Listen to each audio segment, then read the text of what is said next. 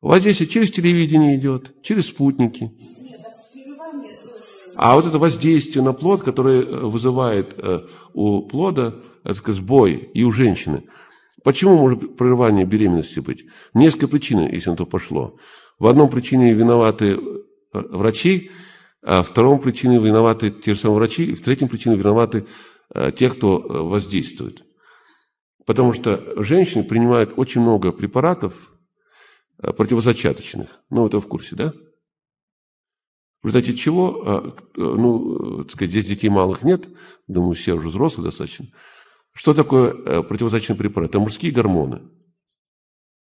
Причина в том, что э, развитие беременности идет, когда, вот, допустим, вот э, мужские гормоны да, постоянные должны быть.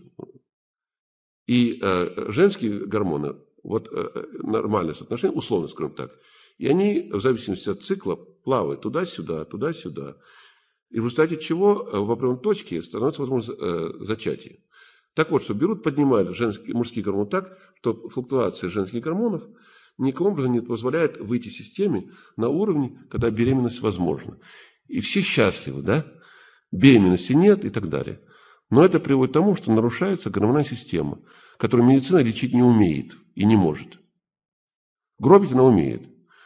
А теперь следующее происходит – когда все-таки женщина решает завести ребенка, естественно, она перестает применять э, противозачаточные. Но последствия э, долговременного принятия, а сейчас с 14, а то есть с 10 лет уже принимают, знаете, да, противозачаточные. Этому учат в школах очень хорошо. Зато, э, кажется, информация о России, о прошлом великом нашей страны, э, другие предметы не изучаются. Но это изучается очень хорошо. Так вот, накапливается столько нарушений, что даже после прекращения принимания гормонов, ну, то есть противозачаточных средств, многие женщины так всегда остаются стерильными, потому что уже нарушено всегда. Потому что если они имели проблему изначально, нарушение, плюс это, все. Но если все-таки не до конца угробили противозачаточными таблетками и, и там, препаратами, то получается следующее. После того, как беременность случилась, дальше идет, а продолжается рост гормонов женских. Что такое гормоны? Те же самые протеины, белки, которые являются катализатором процесса. То есть они ускоряют процессы деления клеток плода, позволяют плоду быстро развиваться и так далее, и так далее. И если э, по этапу развития плода, когда там, э, если кто последнее обращение человека читал, я там расписывал по этапу, как сущность входит и выходит, то каждому уровню новому, когда происходит э, некоторое замирание, действительно, когда одна сущность вышла, другая еще не вошла.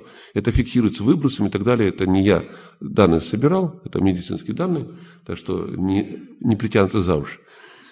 То для того, чтобы более высокоуровневая сущность могла войти и, э, кажется, как симбиотически работать, то есть помогать эволюционно поднимать биомассу, если уровень гормонов не поднимется на следующий уровень необходимый, то этого не произойдет. Так вот, от, после беременности э, уровень гормонов женских тоже растет.